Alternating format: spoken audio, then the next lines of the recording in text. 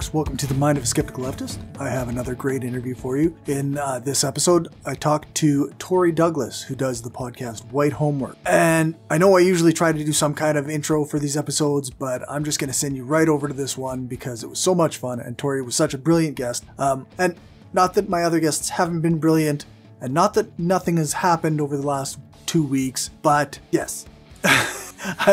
Tori was a brilliant guest, and, and it was a lot of fun. Okay, I know I said I wasn't going to do an intro, but a lot of stuff has happened actually, and it's all been relatively recent. I the most recent Read Reviews is out with uh, Nino Brown and Justin. Uh, we talk about a book from the PSL about uh, like that's the Party for Socialism and Liberation.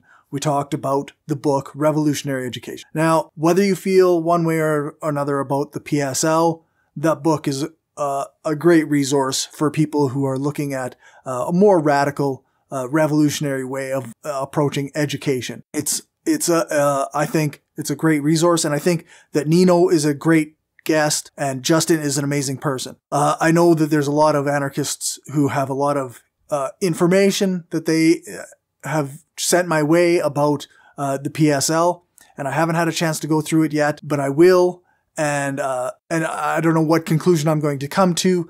I know Justin is an amazing person and he's a great co-host, and uh, I'm not going to really say anything bad about him or the party that he belongs to. Uh, I don't know what to say about it except that if that means I'm not uh, cool in your books, I'm af- I'm afraid I'm going to have to just live with that. Um, the, there was another thing there uh, that somebody posted uh, in the comments under the uh, the video for the revolutionary education. And it was in one of these facebook groups that i'm in.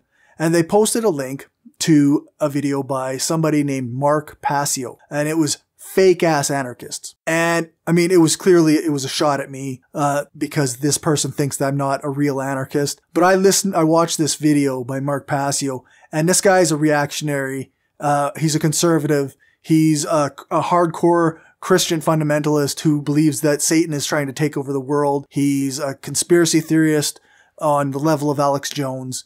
He's uh, interviewed David Icke or been interviewed by David Icke, who is the who is the dude who believes that uh, reptiles run the world, rep, reptile people rule the world.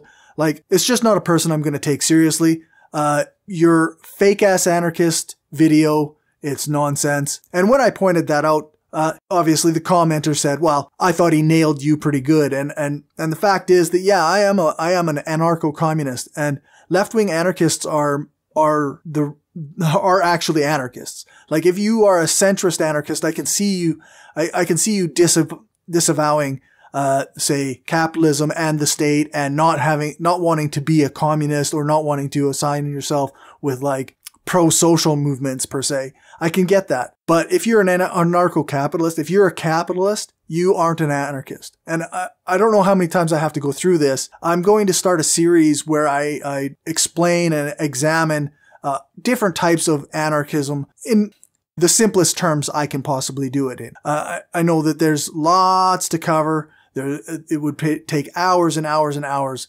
of content to cover all the different kinds of uh, anarchist but there, there are certain fundamental core things to all anarchism. And if you are a capitalist, you can't have them. Uh, if you are pro-capitalist, you can't have them. And if you're a reactionary, you're not an anarchist. Uh, I'm sorry, that's just not how it works.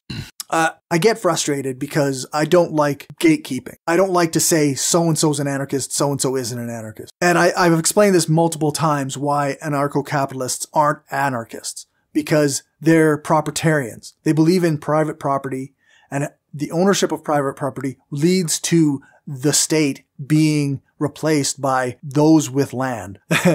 it's like, it's like replacing the state with a king and saying, Oh, that'll do. It's, I'm sorry. It, it's not, that's not how it works, right? Like what you're, what you're doing is corporate feudalism, not, not a free society of free people. And, and I, I just can't take you seriously as an anarchist. And I think this is an issue that we have on multiple levels. Like, sure, maybe it's not a big deal for, uh, for the odd person to encounter, uh, anarchism from these capitalists, uh, from these, uh, pro-authoritarians who just use the aesthetics and term anarchist. And, and may, maybe it's not a big deal at all. But for me personally, if I had been a more vulnerable person, like the first person I encountered online who said they were an anarchist was Stefan Molyneux, who is a white supremacist and a hardcore reactionary. But he, he, he used the libertarian line, right? And he was an MRA and, and like all this shit. And if I had been a more vulnerable person at that time, if I had been less, uh, critical, less of a critical thinker, then I might have fallen for his version of anarchism. And this is a real problem. We need, I think, more voices out here pointing out what anarchism is supposed to be. I know on Twitter, there's a lot of anarchists and hell, I can have it so that my entire feed is just anarchists. Uh, in the same way that I can have my feed set up so that it's only showing me feminists or only showing me anti-racists and never seeing anything outside of that except through uh, quote tweets or what have you. And I can do the same thing on Facebook and I can, I can join my Discord communities and I can stick it, stay in those and not go out of them and not encounter these people. But Stefan Molyneux had a, has a, a big following or did have a big following. I don't know if he still does. Uh, this guy, Michael Malice, that a lot of anarchists, quote unquote anarchists, uh, uh, follow, he's a capitalist. He's a reactionary. He's a MAGA head. Like, you can't be a fascist and an anarchist. You just can't. So he's lying to people, but also he's adopting the name and aesthetics of anarchism. And that can confuse people and lead them down the wrong path. A less socially good path, a less pro humanity path. Um, and it, it really concerns me. I really, I really hope that we can get more people going in more places to where they can learn about real anarchism. Uh, my friend uh, Renee, uh, some of you might remember if you watched some of the longer episodes. Uh, in the Ask an Anarchist sec- section, he brought up Michael Malice because when he Googled anarchism, that's who came up. And Michael Malice is a shithead, as far as I can tell. Like, I know I don't know these guys, whatever, but the stuff he puts out is harmful misinformation. It's harmful and it's, it's backwards thinking. It's straight up status quo capitalist free market nonsense. and it's just without states. Like it's just pure bullshit. So then you also have uh, like this, this Mark Passio, who is, I mean, I didn't go that far into his shit. I've just kind of, I just skimmed the surface of it, but he seems like exactly the opposite of what an anarchist is and yet he's using the term anarchist and he's he's actually applying like he get a, a, a, strategy that says he gets to pick who's an anarchist. He gets to dictate that. He puts himself as an authority on what an anarchist is.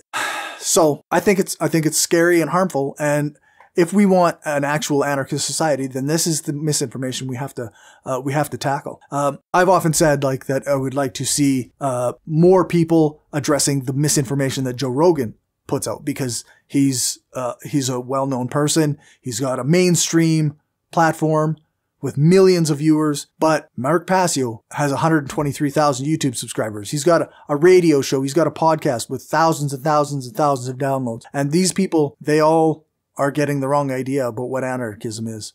So it is a problem. I know, I know some people think that it's not a big deal, but uh, it is a problem. Misinformation is a major, major problem. And it's something that we have to find a way as a community, in my opinion, to uh, address. So for something I wasn't going to say anything about, uh, that, that, came out a lot longer than I had intended. But uh, before I send you over to the interview, I just want to say thank you for watching or listening to this. And uh, thanks for sharing this around if you do. And thanks, that helps get more views and more listeners. And maybe, if we're lucky, uh, we can we can show people that anarchism is different than what these uh, reactionary shitheads say it is. so uh, this show is available on all the podcast places as well as YouTube and I stream on Twitch whenever I get the chance. I also have to thank everyone who supports this show. You can see their names on the end screen in the video, which uh, if you're listening on a podcast is just going to be, that's when there's two minutes or so of music is. That's when the names are scrolling up through the screen. uh, I'm sure you don't mind. It's wonderful music by my friend David Roman. Uh, if you want to support me, then you can do that at patreon.com slash skeptical leftist and sign up for $1 per month. Or if you're in Canada, it's $1.50, I think. Uh, that gets you access to a special patron chat room on the Discord server, as well as extra long videos, uh, the occasional early access And of course, my deep and heartfelt thanks. Uh, if you want to contribute but don't want to commit to a monthly payment, then you can do that at, at uh, buymeacoffee.com slash skepticallefty for a one-time contribution. And if you can't afford to do any money, then just share the show around. Give it a thumbs up or a uh, on YouTube or a five-star rating or a review on the podcast app of your choice, as well as Podchaser is a great place to go give ratings and reviews of podcasts. There's a link in the show notes or the uh, description box down below where you can do that. And besides that, thank you so much for being here and on to the interview.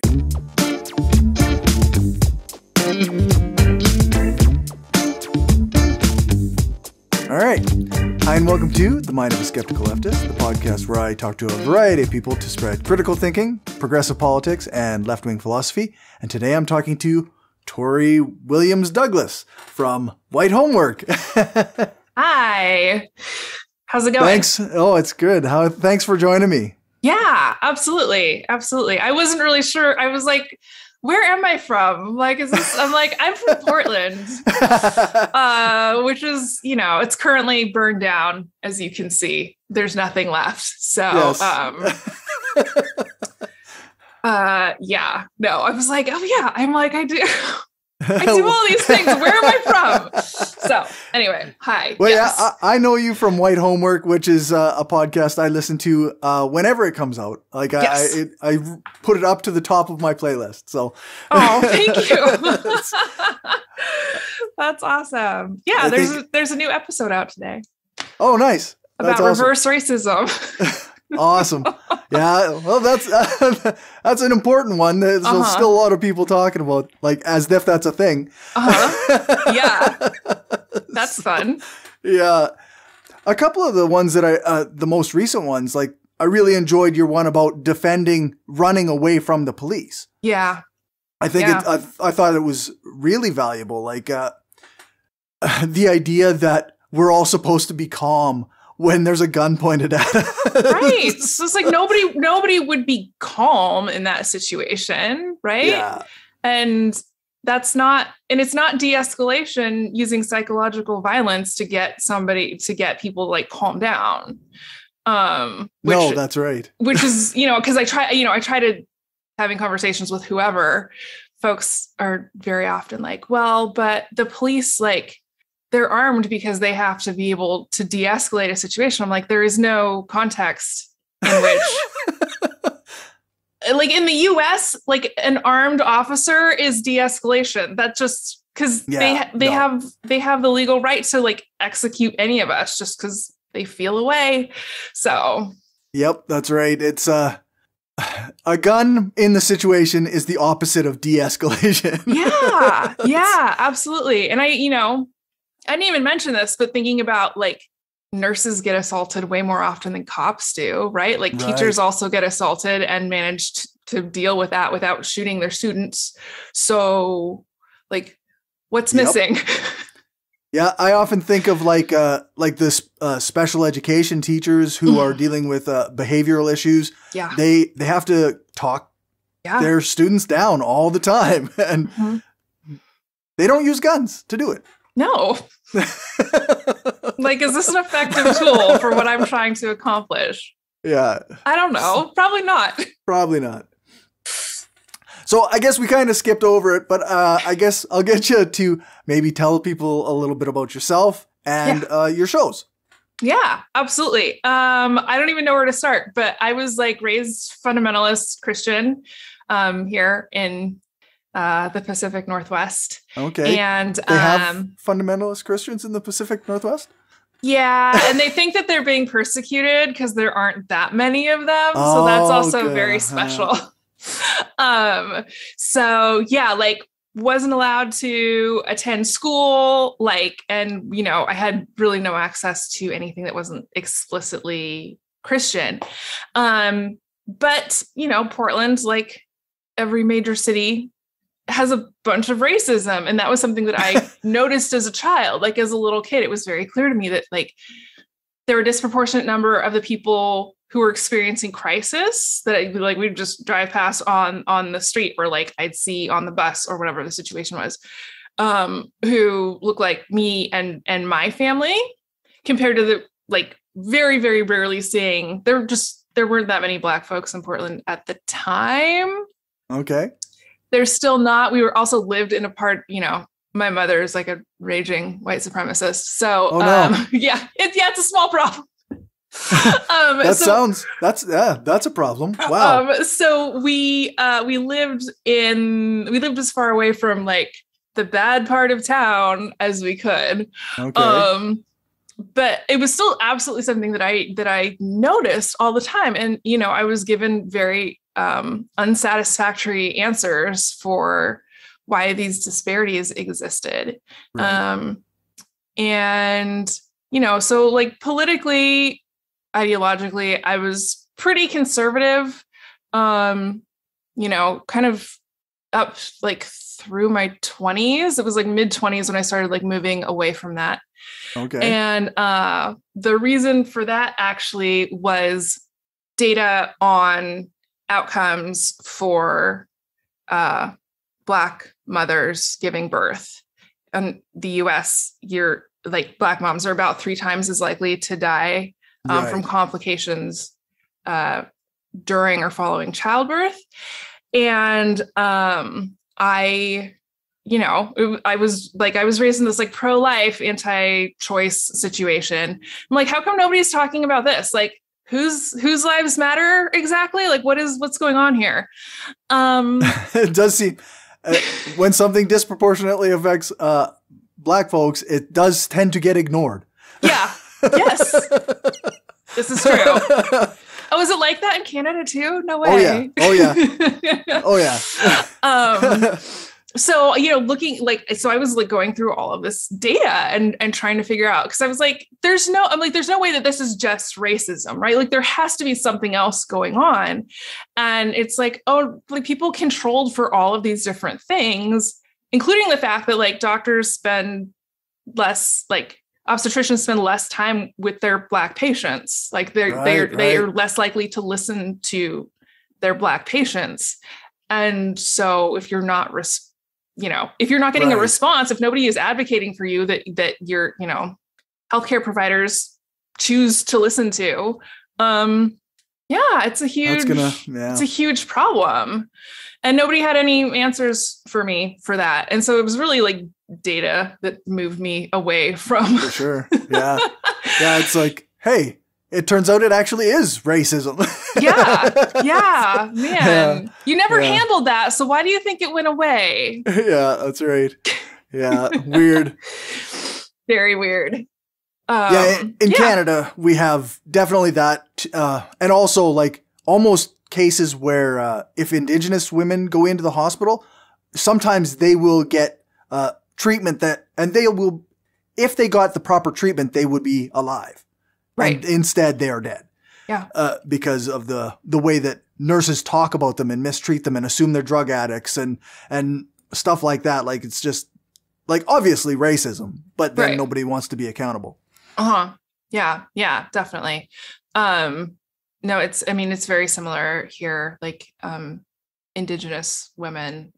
Pro- I mean, in most in most ways that can be measured have have worse outcomes than black women um and you know like kind of seems like as survivors of genocide maybe we should prioritize them and their safety well-being just you know a thought. Seem, it seems legitimate to me. Yeah that right? seems like a good so, idea.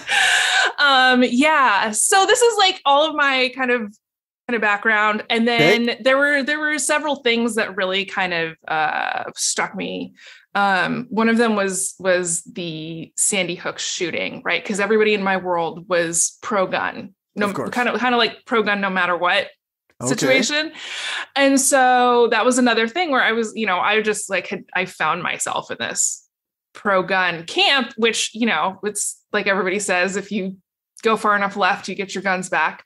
Yeah. But um, I, you know, so I started looking at that, at this data because there is there is some researching researching gun safety and gun deaths in the U.S. is illegal. Oh yeah, that's right. yeah, cool. They don't actually collect some of that data. right. No, and, and you can't get any federal funding for it at all. It's illegal yeah. for the federal government to fund this this research. So it's like private money essentially like like like people's foundations that fund this research and it was like oh there's there's very clearly ways to like minimize harm around right. guns and gun ownership and children and like all of these different things and we're just ignoring it choosing not to do those things right right exactly and it's still it, uh, to me it's like you still get to go to the range every weekend like what do you want exactly like, this isn't yeah. I don't really understand it myself. Like even even though I have moved uh, as I've moved far, farther left, I've moved a little bit on my gun yeah. Uh, view, right? But I'm still not a person who understands gun culture or cares right. about guns. Like, right. Right. so. Well, you have a personality, so you don't need to. like, oh, buddy, your personality must be so small right so, eh? um yeah no i just, just that's i think that's kind of the difference right is it's like I, I, feel like people on the left it's like we don't have to make that our entire identity yeah because yeah. It's not it's like it's a tool right exactly yeah it, it can be useful in some situations not useful in others yep yeah totally so this is another situation where like data is really kind of moving me further left um, right. Yeah. Without without it being like a political thing, I was just I was like, I hate I hate is like do your own research, right? But I was I was doing other people's research, like I was reading like peer reviewed published right journal yeah. articles not doing Do my own, own research. research. on youtube yeah um, yeah so, there's a big difference yeah.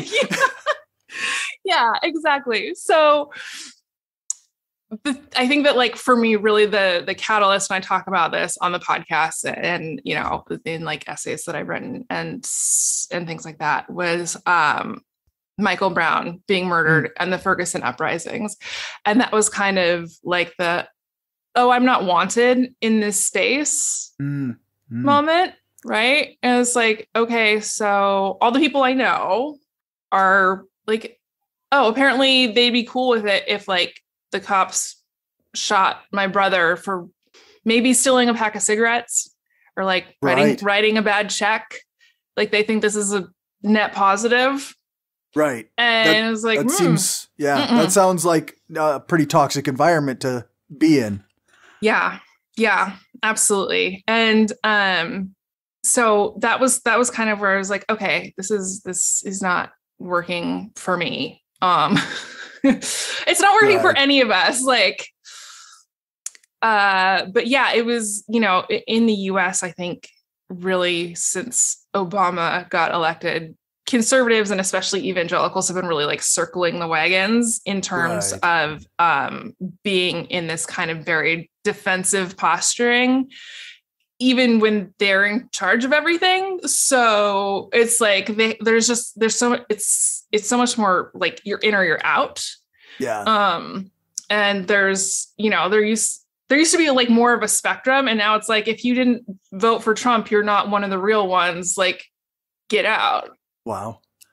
Um yeah so it, it, this was this was all like culturally like stuff that was happening but but that really like the ferguson uprising was that was like the catalyst because i started paying attention to that and i also saw like how the people that i knew personally responded to that and so it was just like oh okay i'm i guess i'm gonna go.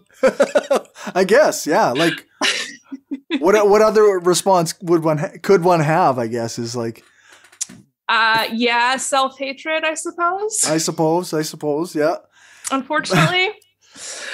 yeah, eh, participate in the in the uh, racist culture. Mm-hmm. I guess. Mm-hmm. Yeah. Yeah, which you know kind of pays well if you like. It sure seems like it. Yeah. If if you can get if you can if you can like get yourself in a place where you can make money off of it.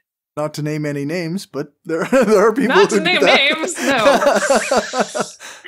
um. So, what started the uh, podcast? The podcast was, um, okay. Let me think about how this how this shook out first. So, essentially, what I wanted to do was um you know i i was on t- like i was just very on twitter and folks would like see what i was talking about and i'd get all of these dms about like hey i don't you know i don't want to be racist i want to like try you know i want to try to learn and be receptive and what do i do okay. and cool. I, I was like well I, I don't know you so i don't know what you should do like uh I, that's not something i can just intuit over the internet um yeah, that's right. so i so i um put together these like little white homework lessons so that people could go and like do their own stuff like do their own work and find out like the history of the places that they have lived and like the history of the industries that they've worked in and and what kinds of exclusionary policies and not even exclusionary policies but just like functional exclusion, even without right. policy around it, um, have impacted how far they've gotten in life. And um, yeah. So with the podcast, what I wanted to do was I really wanted to have um, I really because I like I grew up in in poverty. Like my parents eventually like kind of managed to scrape their way out of that. Uh, but that was obviously it's a really stressful situation. It is hard on it's extremely hard on kids. It's extremely hard on people trying to feed kids. Um, yeah, and yep. so what I wanted to do was pay rent for a family of color for a year. Um, because I just knew like and again, there's boatloads of data that show that like just giving people cash like helps yep. a lot. Yep. Um so I was like, I want to like I want to fund this thing, so I'm going to start, you know, white homework as as a podcast, right? And just like set up my Patreon so that I can pay rent for these families. That's awesome. Yeah, so that's kind of where it came from. That's that's awesome. Yeah, like uh, there's a couple of uh, projects that I know of uh, around here that are like, uh, uh, what is it? Pay pay your rent, where where mm. you use settlers pay rent to indigenous communities for our possession or, yeah. Or, you know our stolen possession of their land. Right. It's really interesting and it goes towards you know people who need it. Yeah. Yeah. Which absolutely. Is, i think we, great we, projects. we have we have we have uh there are organizations here in in the states that do that too. And you know I like I I throw money in because I know that some of my ancestors got free shit because I don't know guns and God and you're not using it so it's ours. Right. Um, yeah. So yeah, I mean that's something that I that I put money into every month also because it's like yeah it's it's stolen land and need yeah. to you need to make amends for that somehow. Somehow, since those in power don't want to actually participate in any kind of true mm-hmm. reconciliation. Mm-hmm. Yeah.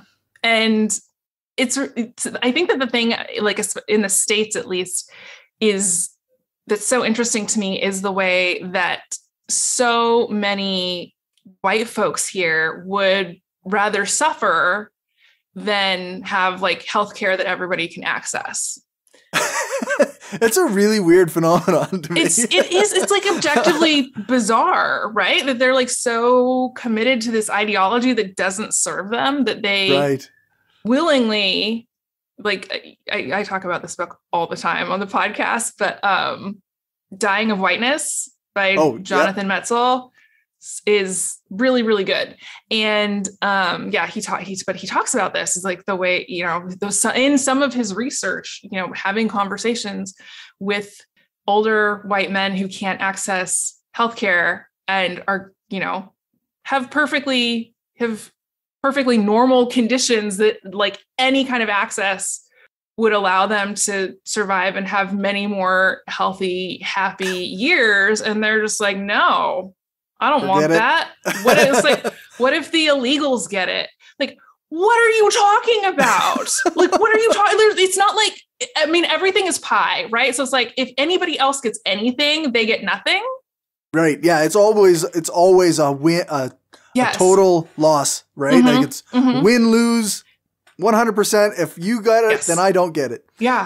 Yeah. and I just like again that's not that's not how healthcare works. You can you can you can just train people to be it's not doctors. really how anything works it's not really how anything works right this, this, one conversation that's like so stuck in my head is just like that's like that's not how it works like we can just we can make more healthcare yeah i think Shocking. of like uh like before the i guess it was the 2020 election mm. uh when bernie sanders it was the primaries uh still and mm-hmm. they were i think it was the new york times was interviewing union reps in Las Vegas. And the oh, union okay. reps didn't want to support Bernie Sanders because they fought so hard for this health care plan for their uh, members of their union. And I was just like, but you'll get better health care. like, and you won't have to take it out of their paychecks. Like, it's it's a whole thing. you fought for a thing that's worse than what you'd get. I don't know. yeah, it's it's it's so it's so bizarre the way that you know it's like oh I just you know I guess I'm gonna I guess I'm gonna shoot myself in the foot because that's the only way to like keep other people from winning the race. Also, like I, yeah, that's right. Yeah. It's so weird. We all get shot in the foot. That's what That makes it fair. No, it doesn't. This is yeah. not leveling the playing field, you guys. it's the opposite. Yes. Mm. Terrible, terrible idea. Yes, truly. Uh, so you actually have uh, another podcast called "Go yes. Home Bible You're Drunk." Yes. So I'm I'm very I I came out of uh, in the I guess 2008, 2009, I was part of the new atheist community. Okay.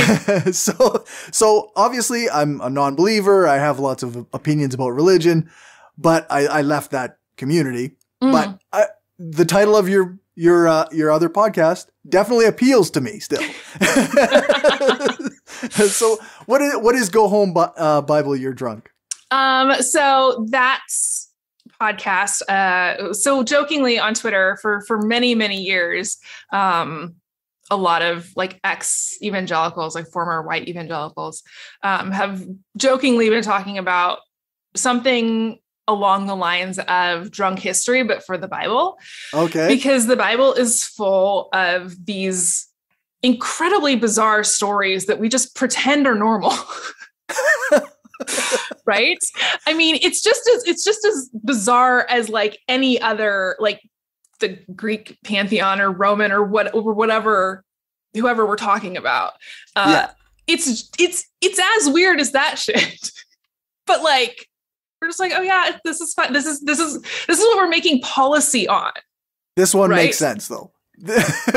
and so yeah. we were, you know, in those spaces in church, we were taught to like the Bible was to be taken literally and that the bible the bible was your history textbook and the bible was your science textbook right and the bible was your government textbook and um so we what we decided to do with the show was we are like okay well let's let's just read this and take it literally as it's written now that we're not in anymore and just like see what happens Right.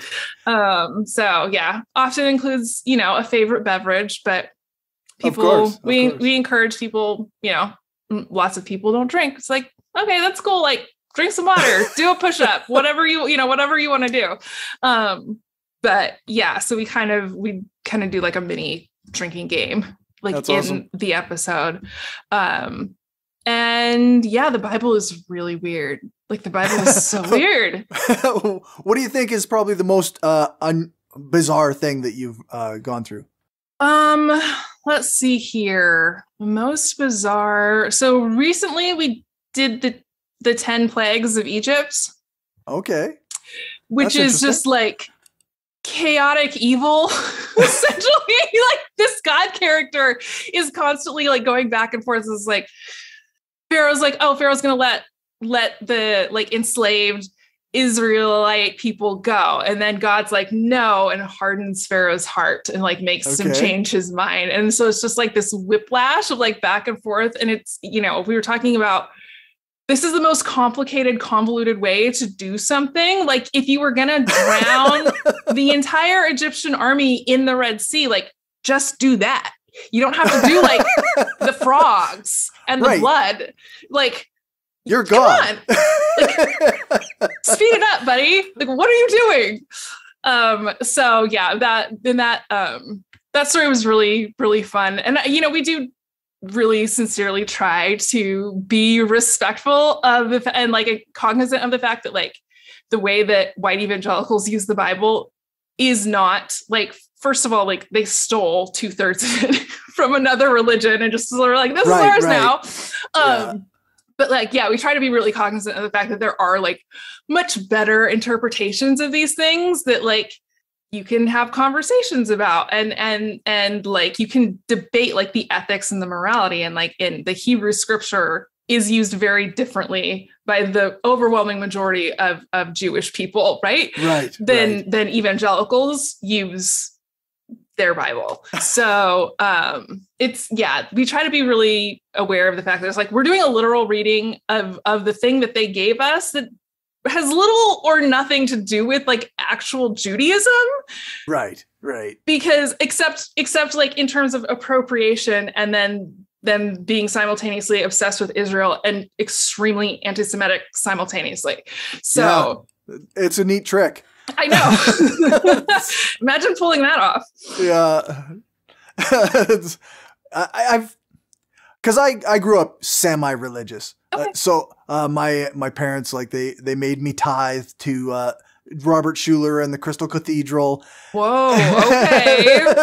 but okay. I was never really like a believer. Like yeah. we watched it on TV every Sunday and and whatever. Oh. And my my parents were very like they believed, but I never really bought into it. Okay. So uh so I didn't really read the Bible. Mm. so, so it's always interesting to me to have other people reading it at, with their perspectives and and yeah. whatnot. Yeah, absolutely. I mean, there's so many. It's it's massive. There's so many stories in there, and oh, yeah. all of them are just like complete madness. If you're reading it as like if you're reading it literally, like as a history textbook, it's like this is no, y'all are batshit like off the walls. This is this makes no sense. yeah, no, for okay. sure. if you want to believe so, that, I guess that's good for you. It's like, no, this is bad. Definitely the way that some people interpret it is very bad, right? yes. There's no getting away from that. Mm-hmm. Yeah. And it just so happens that those are the people who also have political power in the United States. They just run all the things. Yeah. like theocracy, here we come. I don't know. Yeah. and they don't even hide that, right? No. No, because it's like traditional family values. It's like you can't come for that and you can't come for my religion. So if my religious beliefs say that like we should just bully like we should use our political power to bully trans children, then like we're just gonna do that. It's, yeah. This is and we can take a, okay. a, verse out of the Bible yep. and we can justify it. And mm-hmm. now we're doing God's work. Yes, and, and right. that makes us good and not and not bad. Mm-hmm. Mm-hmm. Yeah, and that that kind of like moral framework that they use, where it's just like, oh, it's good if we do it yeah. because because God wants us to do it. But if you do it, like you're bad. Right. Right. Or yeah, because it's... like socialism or Marxism or something. They really throw that around a lot, dude. They truly do. And they don't really know what it means, no. of course. It's just like one thing that I did notice over the past, I don't know, probably probably like since around Trump, the time that Trump got elected was uh when like online when conservatives start calling start referring to something as socialist everybody like jumps on and they're like this sounds great actually. Like where do i sign up for socialism? Yeah that's right. Like uh yeah like this is we're only doing it this way because it works for you. So yeah like all this stuff would be better for the rest of us if if, if that's how we were gonna go but it's so uh, bad I, I, I, I've lost a lot of friends locally because uh, in Saskatchewan, okay. uh, everybody hates Justin Trudeau. Fair. And the reason is, be- yeah, well, yeah, but for the wrong reasons. The okay. reasons, the reason they hate Justin Trudeau is because he's a communist. Oh God. oh God. And, and so I often get online and I'm like, well, he's not a communist, and communism would be better actually. Uh-huh. Uh-huh. so, so if like, he was doing a great reset, I'd be in favor of it. Totally. Yeah. Like and, he's just he's a neoliberal. Like, what are you even talking about? he's yeah. a communist. Yep. Like you guys, like words have meanings. That's right. Like at least read the wiki page, please. It's all it's free. There's not it, even a paywall. You can just right. go look it up. You don't have to believe everything it says on there. Just totally. at have some kind of a frame of a frame of reference for like what you're talking about. Yeah. Uh yeah, no, I'm I I totally I totally hear that because yeah, it's I, I've noticed that. Um I probably I probably pay slightly more attention to Canadian politics during non like trucker protest situations. uh, of course, than, than yes. most than most people in the U.S. I think. But yeah, it, it, like the whole oh my gosh, yeah, just Justin Trudeau is a communist. Like I mean, if he resigns, I'm not gonna. It's not gonna break my heart. Right? Totally. Like, who cares? but yeah, definitely not a communist. Well, then, and the thing here is like, like white liberals love to kind of turn po- politicians into celebrities and kind of deify right. their faves, right? Whoever they're standing at the moment, um, and so yeah, and they absolutely did that with Trudeau. They're doing it with with Vladimir Vladimir Zelensky right now. Yeah, also, it's so weird. Like, it's stop, so weird. Stop! Like, you're this is this is not. You are unwell. this is your response. anyway, no, so for sure. That's yeah. a problem that we have here uh, on on on the left. We have two. We have two right wing parties. Yeah. No, that's right. Yeah, we have we have two and a center party. oh, okay. Okay. so, so, like that, I think our conservatives are right, our liberals are right, and the right. NDP are, I would consider center, center maybe yeah. center left. Like, yeah. they do have some left ideas. no, nobody here does. I mean, no. like, there's a handful of people in Congress who do, but you know, what are they going to do? What are they going to do? They're not millionaires. How would they right. even change anything? Yeah, exactly.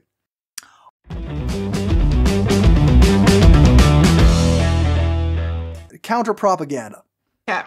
So the thing that you have here is police budgets are being slashed, and the assumption is that it increases crime. Mm-hmm. And something I was arguing with a couple of guys the other day was that actually the uh, police budgets weren't even really slashed, and crime hasn't changed all that much. Mm-hmm. In fact, in fact, uh, I like I, I, tried to appeal to their uh, their st- their desire for evidence and whatnot, yeah, and, yeah, and say absolutely. like we know through evidence that increased policing does not decrease crime. Mm-hmm. There's like, no correlation there at all. None. It's just a fact. so, are you seeing a lot of people uh, talking about uh, police budgets and and uh, the defund the police kind of uh, campaign that was going on?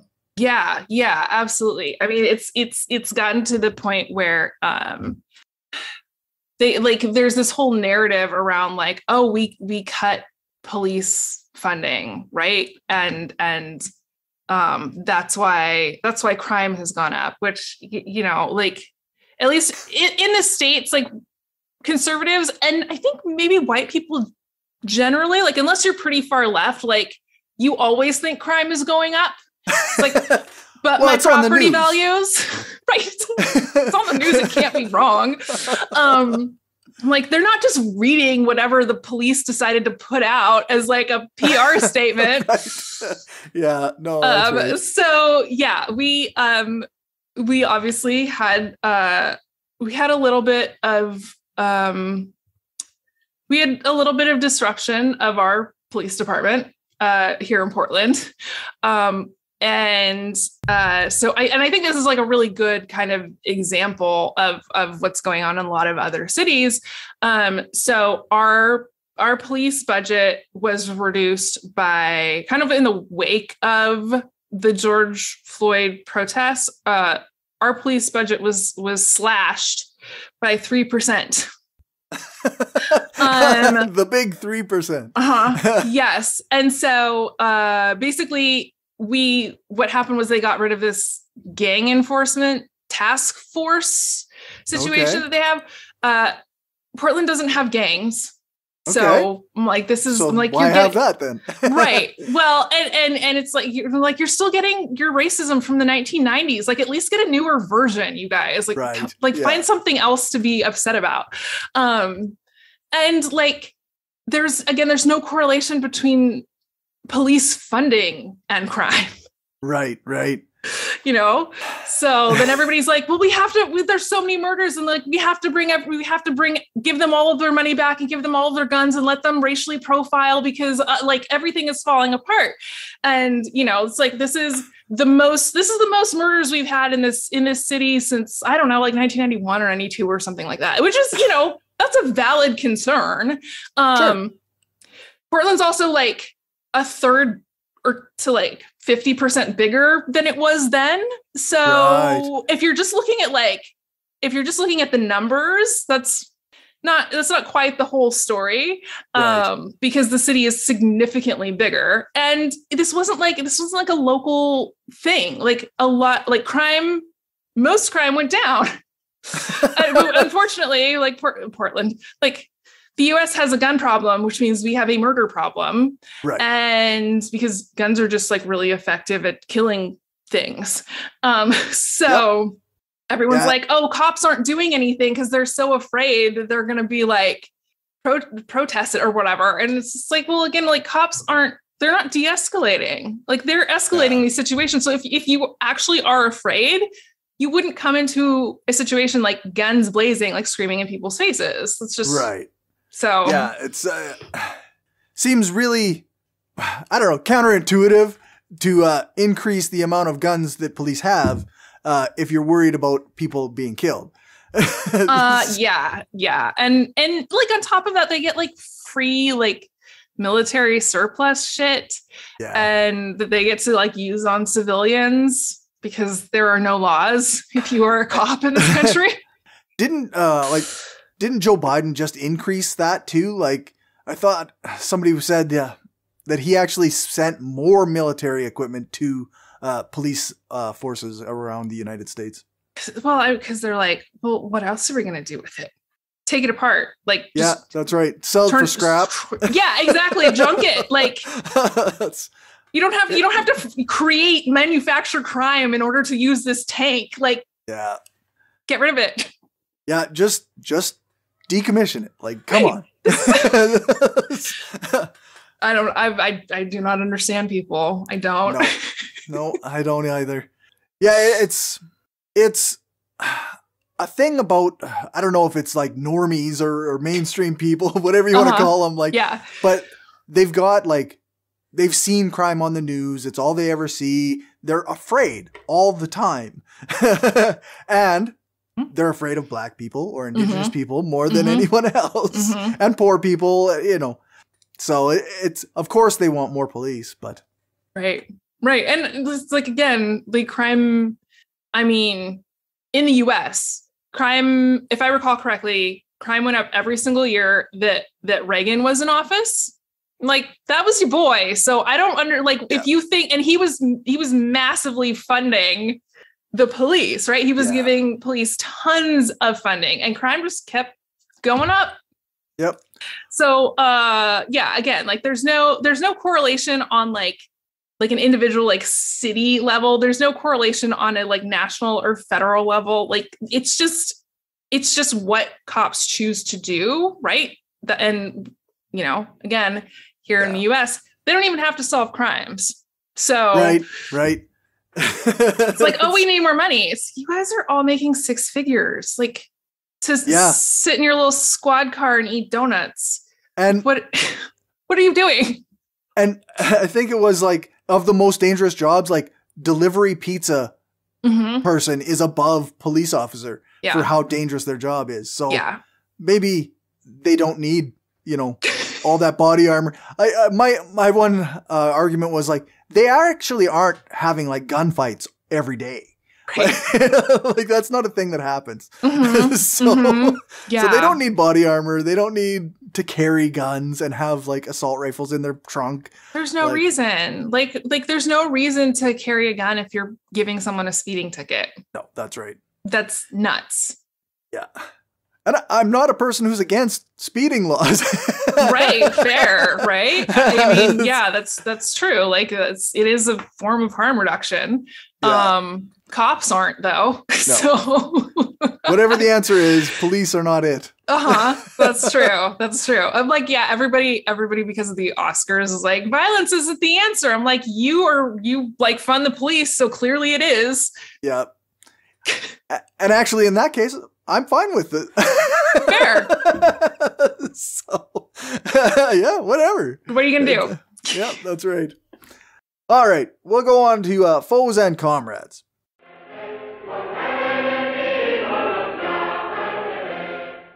Uh, you you said you had something very specific to the Portland situation. Uh-huh. but I, I think we can broaden it out to a, a kind of a white people trying to hold black people accountable mm-hmm. for various things. Mm-hmm.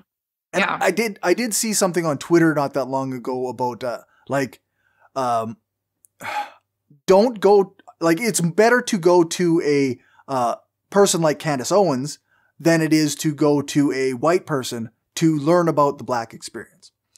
And okay. and I I uh, my my response was like I would go to no one. In right, those are my choices. Like I'm good. like, uh, luckily, we don't have to go to those two people. right. oh gosh! Oh my gosh! I don't even know if that's like I don't even know if I agree with that. Just because there are like there are a lot of wonderful scholars here in the US who are white folks who are like the ones who are really digging up a lot okay, of the receipts yeah. on um, racist policies and the impacts of, of racist policy um, the impacts that slavery has so i mean it's yeah to me i'm like I, like candace owens is kind of a unique situation because like she's her family is like Caribbean or something, and so she thinks that she's better than like American black people anyway. So it's just like there's some chaos there that I'm like, I don't need to, I don't need to get into that. um, fair, fair. But also like Candace is like she's not she's not she's not holding white people accountable. Like she's no, just no. going, she's like going after black folks because that's like an easy target for her. That's why she's paid the big bucks. I have no idea what she's paid. Like she's doing better than a lot of people. I mean, yeah, I, I assume that that is the case. Um, I like I I'm mortified thinking about being that wrong that loudly every single day. like I that am like that is my worst fear. It's like, embarrassing. right? Like how do you how do you look at yourself in the mirror? Like, my God, woman. Um yeah so i think that there is like that just you know in the us and you know every every country has us you know every every colonizer nation has some kind of has some kind of racism just like built in For sure. um and so when yeah when you're talking about people holding like people of the what whatever majority or people the people who have power holding other folks right. accountable for things um yeah i like i really i really struggle with that um the the specific example that i gave you just briefly was there are some white women in portland who are trying to hold some black and muslim community members accountable for for harm that they that they feel has been caused okay. and um you know to the extent of to the extent of my knowledge like what at least one of these individuals has completely owned up to everything that happened and it was it's not like a part of their their life anymore and you know uh, like I, I saw somebody like someone I don't I don't I don't even think they live here. Like I don't think they're part of like the activist community here at all. But they had like a really interesting comment about like you have to you have to like you have to go through this process and like kind of make restitution. And and i'm like but what does that look like? Because all of these people are saying that that that what this was is like taking public accountability for for your actions like owning your actions is like not good enough.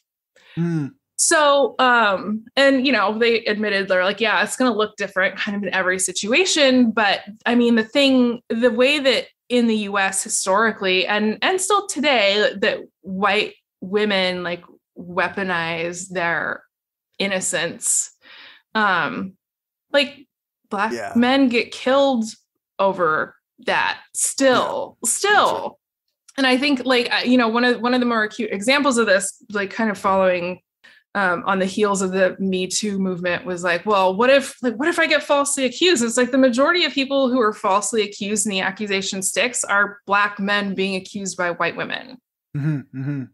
Yeah actually on uh, a recent a recent uh, conversation I had uh, regarding an Angela uh, Angela Davis's book "Women, Race, and Class." Mm-hmm. Uh, we we talked about uh, the the use of white women as a way to uh, like kind of as a victimization of yeah. white women in order to perpetuate the idea of black men as perpetrators. Right. And like it's it's it's so common and it's very very like problematic and uh, like I mean, the idea of a Karen has become kind of a joke, right? Right. But yeah, that that started from white women calling the cops on black men who just happened to be existing near them. Right. Yes.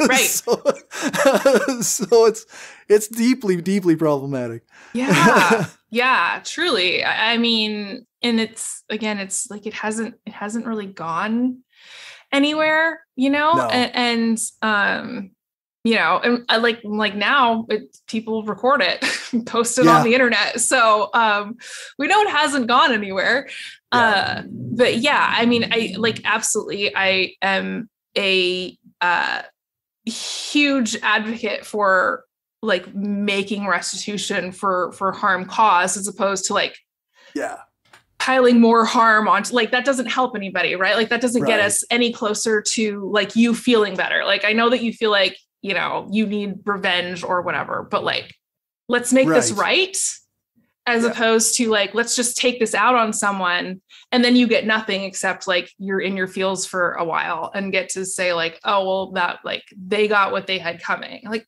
you know, give like yeah. give make people make it right. well, yeah, like, exactly. More violence. Well, and we do see that like too with uh the way that like say a Bill Cosby or an R. Kelly uh, mm-hmm. uh, when they are facing consequences, the celebration on on online and in in mm-hmm. uh, media and.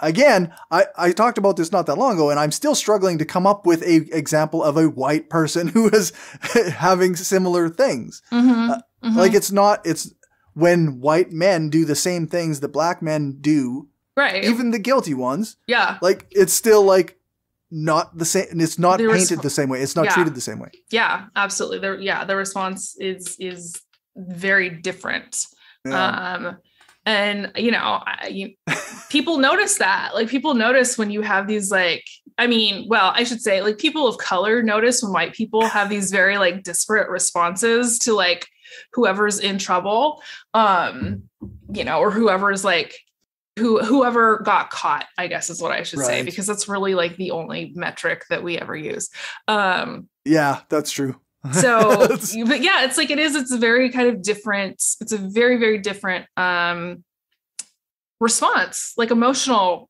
response that that people have. And you know again like i, I think if if if you as a as a white woman aren't looking at looking at yourself and going like hi history emmett till like this is a real thing like that woman is still alive and she hasn't been charged with anything um mm. so you know it was like it just to me like the context matters so much.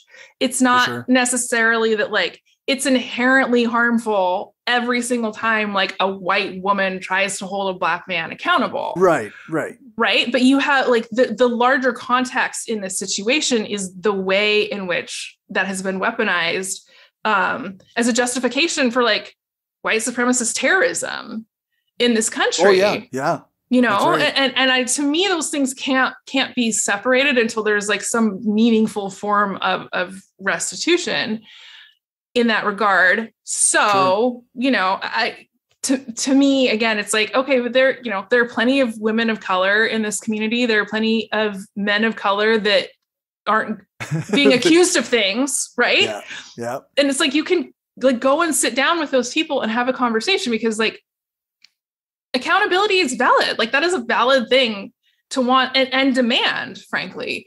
Um but like you you making yourself like the whoever arbiter, yeah. right yeah exactly exactly. It's like no this needs to be i mean generally speaking i think that restitution needs to be collaborative anyway. Like there need to be more than like the two parties involved Sure. Yeah, like it, it's almost a community thing, right? right right Yeah. truly so i think that it's yeah the like white vigilantism of like holding holding black muslim men accountable i was just kind of like okay but i don't this does this is just it feels off right because of the way that that has been so misused right um No, that sounds fair to me. Yeah. seems like reasonable uh, perspective. I, yeah, I don't know. I, like, obviously, I'm a white dude, so I I try to when when stuff like that's going on, I do try to like listen as much as I can, Right. Instead of just inserting myself, but. like hey i have an opinion no really do you I always, I, I do always have an opinion, but usually I try to be informed b- by Right. uh, Yeah. various- yeah, absolutely and i you know again it's like this is not like we we have to we have to find a a productive way to hold people accountable for their behavior and i am you know i fully support that and you know but but i think that yeah once you start falling back on like these kind of racist tropes in order to like make a point right, right, yeah. that's where to me it gets questionable so Yeah, for sure.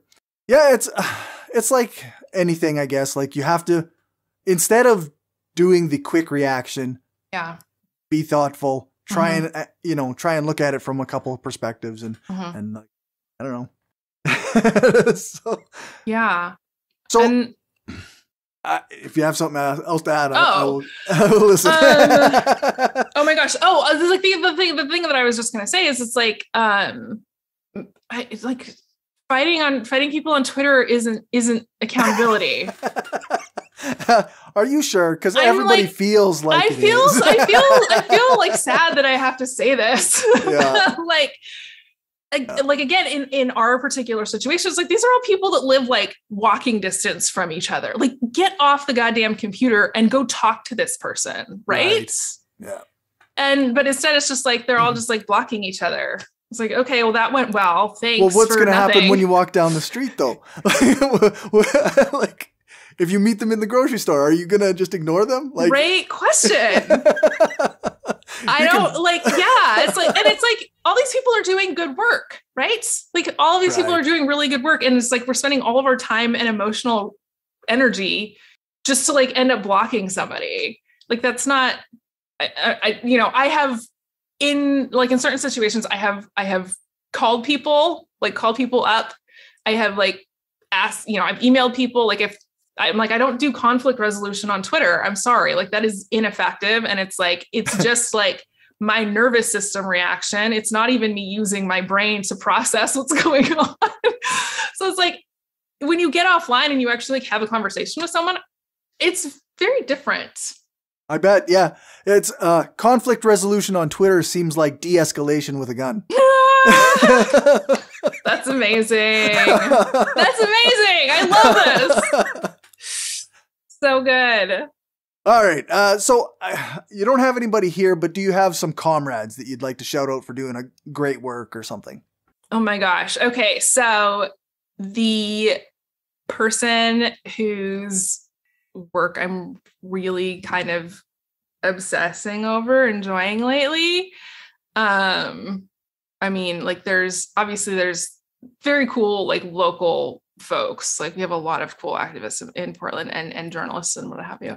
Um, but yeah, right now I have been on a kick um of trying to like get my hands, ears on everything that Margaret Killjoy does. Oh, Like, yeah, yeah. I absolutely She's awesome. yeah, I I love her. And like I don't I don't know. She like she started following me and I was like well, because I tw- like what I did was I tweeted. I was like, "How?" I'm like, "How the fuck do I have more followers than she does?" Like, this is. I'm like, "Go fix this." And then and then she like followed me because of that, um, which is not like it, it's not like a name dropping, like humble brag sort of thing. It was very much like I made a complete fool of myself on Twitter, being like, "Oh, also I have a crush on you."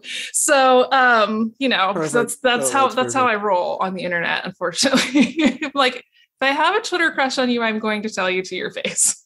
We've been trying to work out a, a time and, and date so that Margaret can come on the show, actually. Oh, it makes me so happy.